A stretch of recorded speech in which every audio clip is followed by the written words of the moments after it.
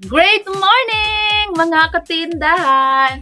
Welcome kayo dito sa RTW ni Madam Claire! So for today's video mga katindahan, ayan, at, at isi-share ko nga sa inyo kung papaano kami magpresyo ng aming mga paninda dito sa aming RTW business. Yan, so papakita ko sa inyo yung aming damit at chinelas kung paano namin siya pinapresyuhan. Marami-rami na kasi yung mga nagtatanong dyan sa ating mga viewers kung magkano nga ba ang pinapatong namin sa kada item. Magkano ang puhunan, magkano ang tubo. Yan. Kaya naman, papakita ko sa inyo yung itong iba't ibang klase ng aming mga paninda. So, meron akong uh, nilista na mga paninda na ipapakita ko sa inyo. Kaya naman mga katindahan, tara samahan niyo ako! Let's go!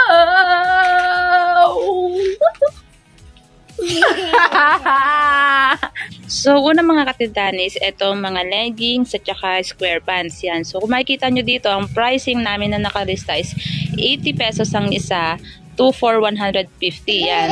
Leggings and square pants. Yan. So, ito yan mga katindahan yan. Nakita nyo ba? Yan, isang buo yan dyan. So, ang puhunan namin dyan mga katindahan ay 40 pesos. Yan.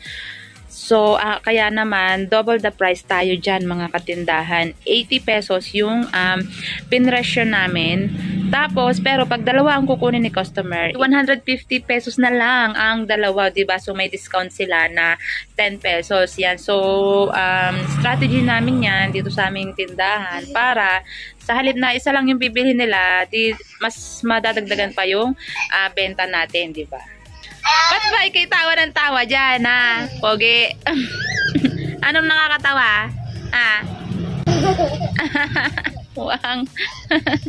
Next mga katindahan ay itong mga jersey na shorts. Yan. So, ang puhunan namin dyan mga katindahan ay um, merong 50 pesos, meron ding 55. Yan. So, kung 55 natin siya pepresyohan, ay kung ito-double the price natin yung 55 mga katindahan ay um, meron tayong supposedly na 110 ang ang ating bentahan dahil double the price nga tayo. Pero kung 110, di syempre ang ending niyan is si customer is tatawad sila ng 100 kasi may 10 pesos, parang may 10 pesos na botal.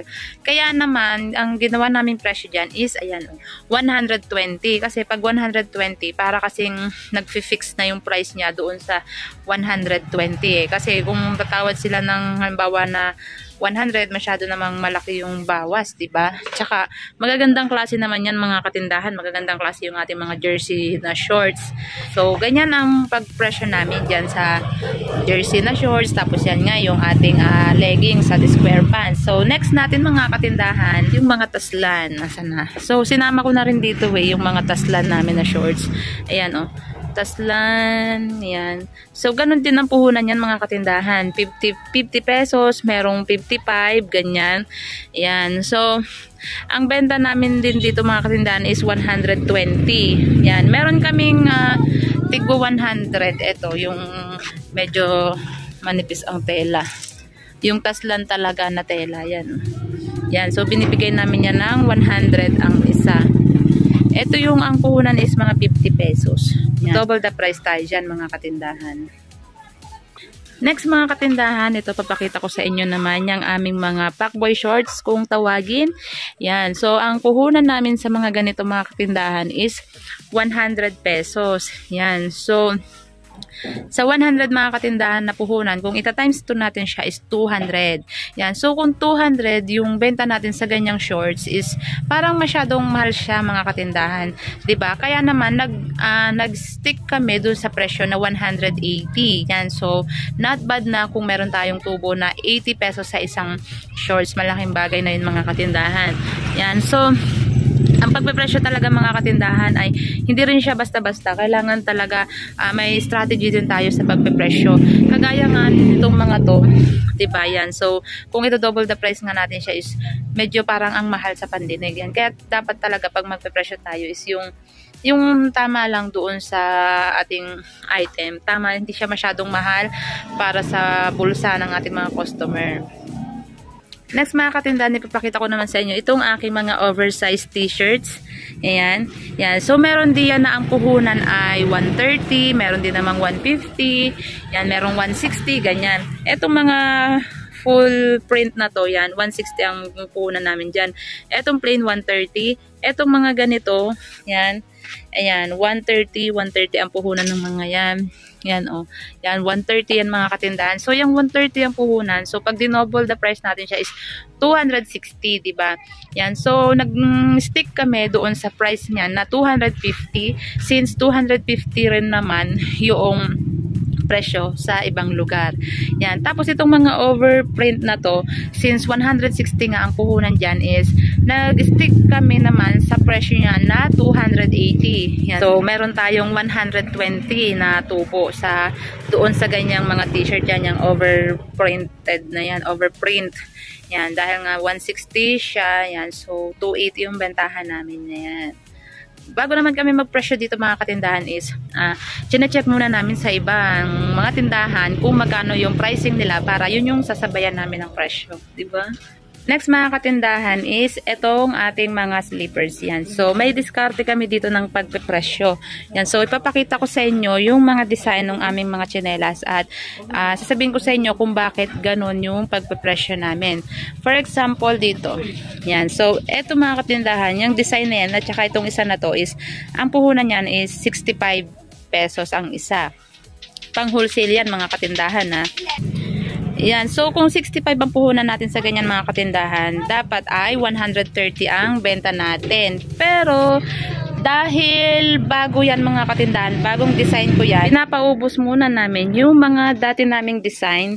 Yan. So, yung dati naming design is 130 ang bigay namin sa ganun. Pero, pansin ko dito is wala na yung mga old design ko na chinelas uh, halos nabili na rin mga katindahan. So ang mangyayari niyan, uh, sa sunod namin na pamimili, pag may bago na naman kaming design ng mga chinelas is eto na yung magiging 130, 130.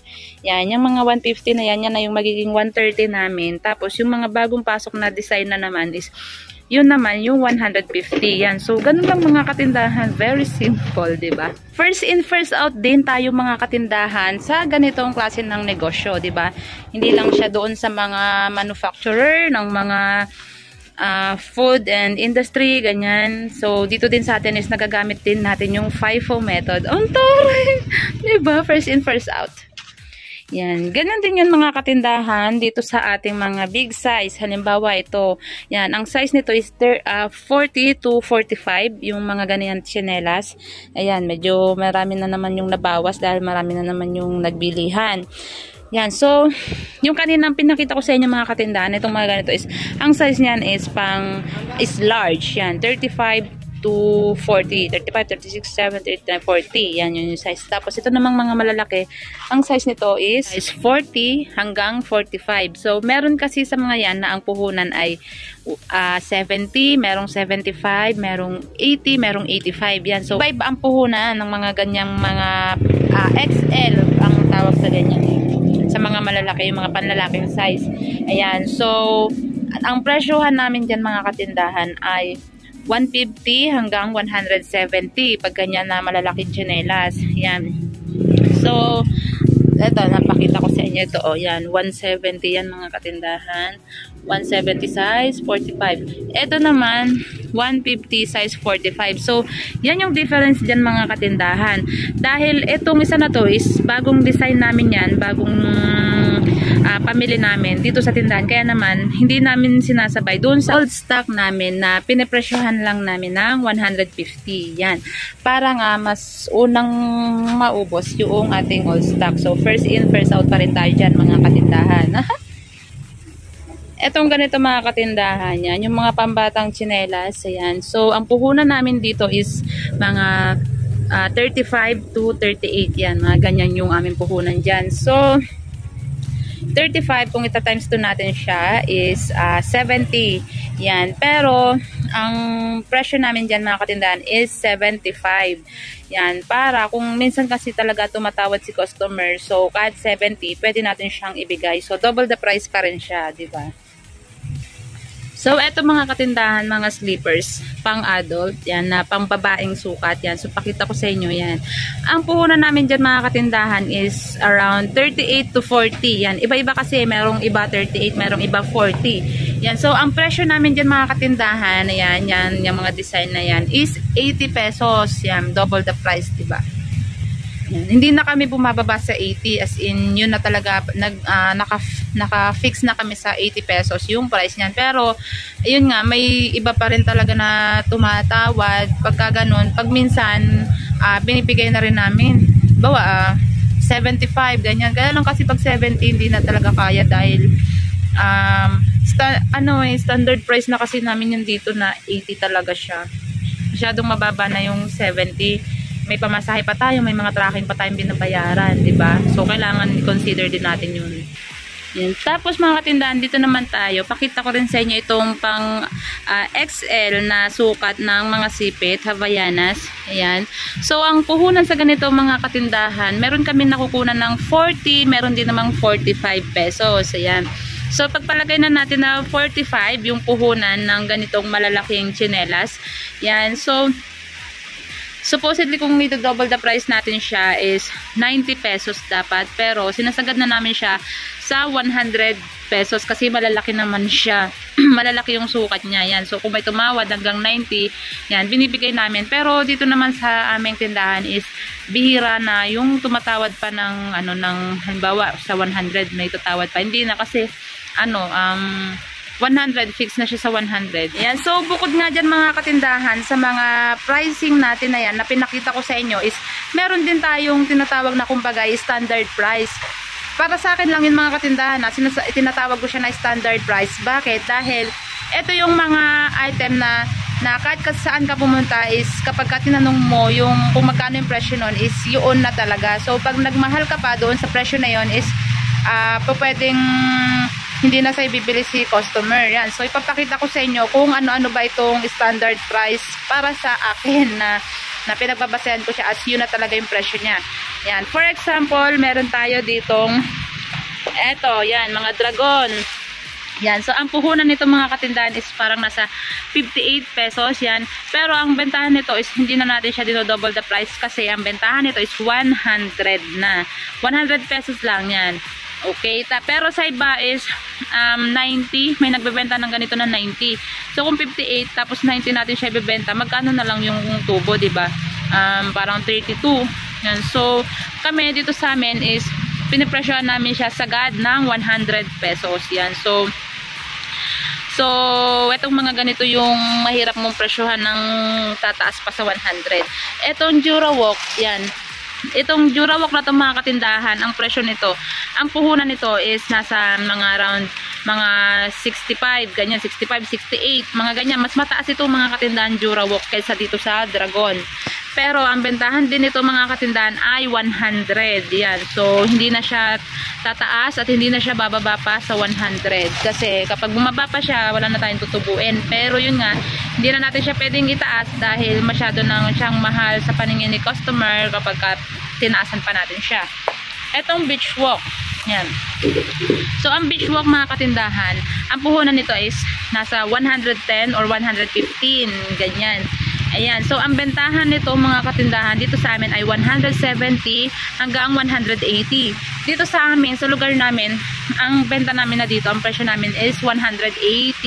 Yan, 180 ang bigay namin yan kasi masyadong mahal na kaya mga katindahan ang, ang pamasahe sa tracking. Naku, grabe. Kaya kahit pa paano yan, ah, uh, sa 180, meron na tayong kahit, uh, kahit pa paano may tubo na tayo.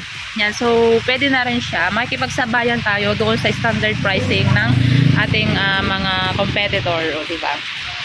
Etong nanyang, mga katindahan yan. So, ang puhunan ng nanyang ay 210 yan mga nasa ganyan pero ang bentahan lang nito mga katindahan ay 280 dito sa lugar namin yan so anong magagawa natin kundi sumabay tayo sa agos ng presyohan so sa 210 tapos 280 meron lang tayong 70 pesos imagine ang laki-laki ng ating puhunan 210 tapos 70 lang yung, at, yung balik sa atin pero it's okay, it's normal, it's part of the game, 'di ba? Lagi na lang part of the game.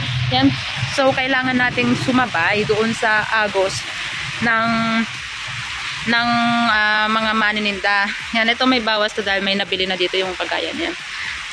Yan, 'di ba? So kailangan talaga nating sumabay sa sa presyuhan para talagang yung ating mga customer is ah, hindi naman nila iisipin na ang mahal-mahal natin magtinda dahil sabay lang yung pagpresyo natin doon sa sa ating ibang mga manininda. Meron lang talagang ibang manininda na sobrang baba talaga magbigay. Pero dito sa lugar namin is hindi namin siya binababa ng todo kasi syempre may iba rin na mga nagtitinda dito na kagaya namin, 'di ba? Para lahat kikita. Mas maganda kasi yung pantay-pantay lang, yung hindi tayo masyadong nag-down ng price, naghahatakan pababa kasi sino rin yung matatalo, 'di ba? Tayo din at the end of the day, 'di ba? Tayo din yung kawawa dahil masyado natin namang ah, masyado na natin binababa yung yung presyo. Hindi lang naman yan yung, yung hindi lang naman diyan tayo magbabase ng tubo, 'di ba? Kumbaga yung tubo natin is hindi porket ah, double the price tayo is yun lang talaga. Marami pa tayong expense na na na-incur doon sa ating mga pamimili, 'di ba? Kagaya pamasahin natin, balikan, 'di ba? Libo din 'yan. Magkano yung bayad natin sa tracking, magkano yung bayad natin sa pagbuhat. Ang dami, 'di ba? Tapos ah, yung pang effort natin sa pagtitinda, dapat 'yan lahat binabayad, 'di ba? Yan. Yan mga katindahan. So yan lang nga muna yung ma-share ko sa inyo na kung paano nga kami magpresyo ng aming mga paninda dito sa aming tindahan. Yan. At nabanggit ko nga sa inyo na first in, first out is nagagamit na gamit na gamit din namin yan dito sa aming tindahan para syempre yung mga old stock natin is mapalitan na naman siya ng bago yan. So maglalaro tayo na maglalaro sa presyo kung paano natin siya pepresyohan, paano natin madidispose yung ating mga item nang hindi tayo nahihirapan, hindi tayo na problema, di ba? Yan. Yan lang muna mga katindahan for today's video. Oh yeah! Maraming maraming salamat sa inyong palagi panonood and happy selling! Woo!